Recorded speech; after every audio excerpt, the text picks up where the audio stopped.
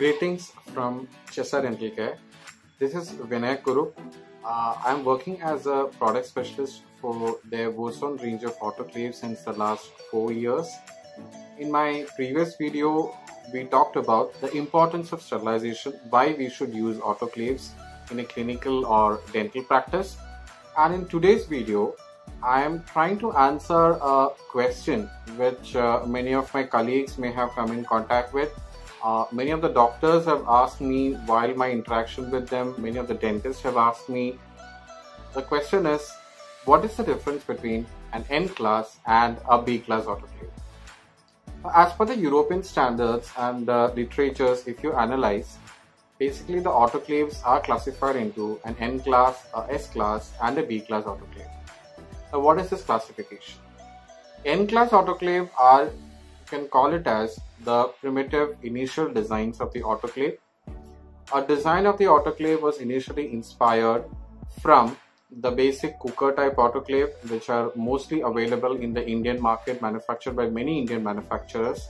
So it is also called as a top loading or a cooker autoclave, and those are the N type autoclave. Now, in N type autoclave, you can call it as nothing basically there is no forced air removal and there is no drying mechanism available in it. So that is the reason it can be called as an N-class autoclave. So basically you don't have both these features in it. And since in the dental industry, majority of the autoclave sellers are dealing with N-class and the B-class autoclave. So in today's video, I would be comparing these two to make it more clear to majority of the people who are coming in contact with these two terms and having the question what is the difference between an N class and a B class.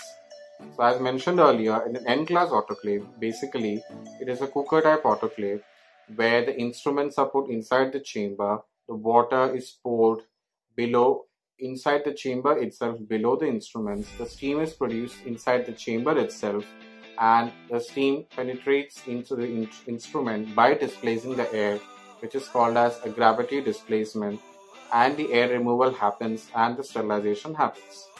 Now the problem with this is that first of all the steam penetration is not effective. It is up to 60 to 70% around. The next problem being is that after the sterilization is over there is no drying. So the instruments come out almost wet.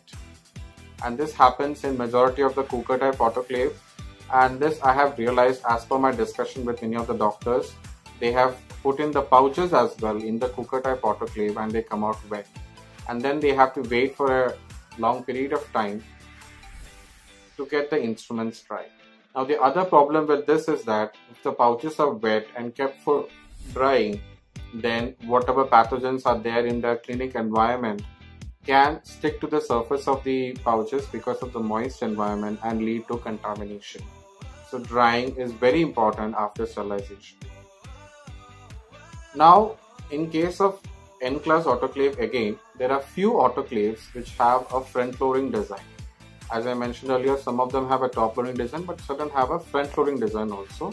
And one of them is the Dolphin autoclave from Woson being sold by Chesa Dental Care Services.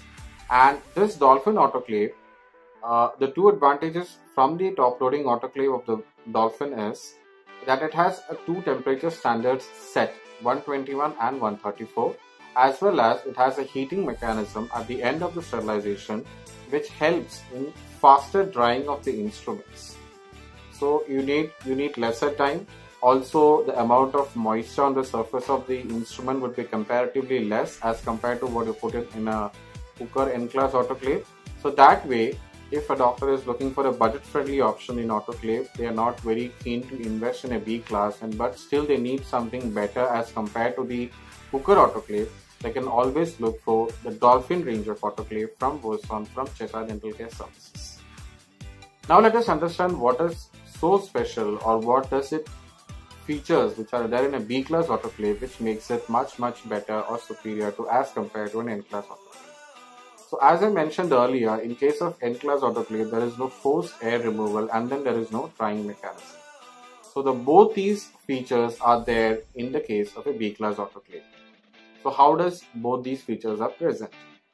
So if you analyze the normal working of a normal working of a B, autoclave, basically there is a heating phase where the temperature reaches the desired level. Then there is a holding phase for the desired time period where the sterilization happens. And then there is a cooling phase where the temperature drops down and the exhaust and everything happens. In case of a B-class autoclave, prior to the heating phase, there is an air removal phase. In this air removal phase, the air is removed in three steps. Why in three steps? So it as for the studies done, it was found that when the air is removed in three steps, almost 99% of air removal happens. So how does this air removal is done? Basically, in case of a B-class autoclave, the steam is generated inside a steam generator, inside, inside a steam generator, not inside the chamber itself. So this steam generator slowly releases the steam inside the autoclave and then the mixture of steam and air is removed by the vacuum pump again the steam is released so this way the removal of the mixture of air and steam happens three times. And this way the vacuum pump and the autoclave is able to achieve almost 99% air removal. After this air removal happens then there is a heating phase in which the temperature rises to the desired level.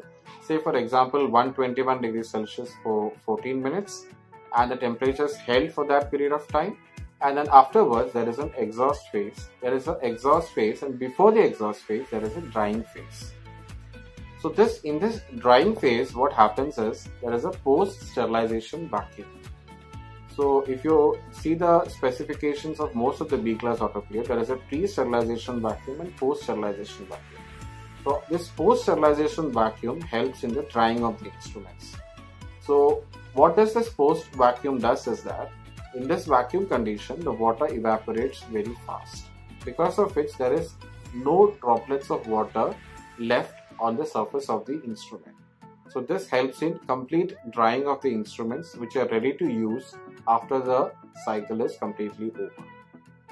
So this way B-class autoclave ensures 100% air removal as well as complete drying of the instruments. Then there are certain other features also in the B-class autoclave. There are microprocessors which are controlling the regulation of the temperature. It ensures that the there is a uniform increase in the temperature. Especially this feature is there in case of a B Woson B-class autoclave. There are safety lock door uh, features.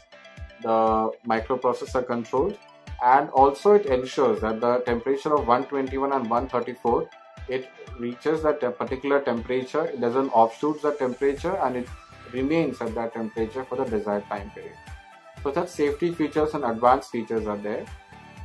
And in addition to that, as per the European standards, the B-class autoclave needs to have certain test cycles in it.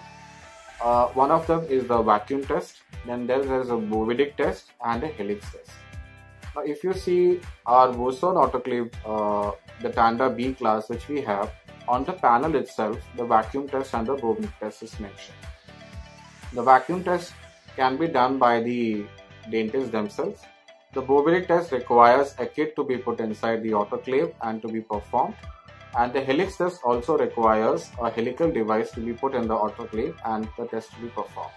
You can always help the doctor to for performing these tests and uh, these three tests basically helps in monitoring of the autoclave just to make sure that the autoclave is working fine so i believe this small video has helped in understanding the difference between N class and B class and we offer both as Chesa Dental Care Services. In N class we have the Dolphin autoclave and in case of the B class we have the Tanda and again in B class we have few options available.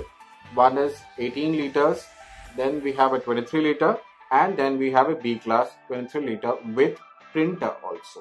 So these three options are available in case of a B class and uh, we give it as a package along with a water distiller and a pouch sealer. So it becomes a wholesome package for a doctor to consider in case of a clinical setup. I believe this video was informative to you. In case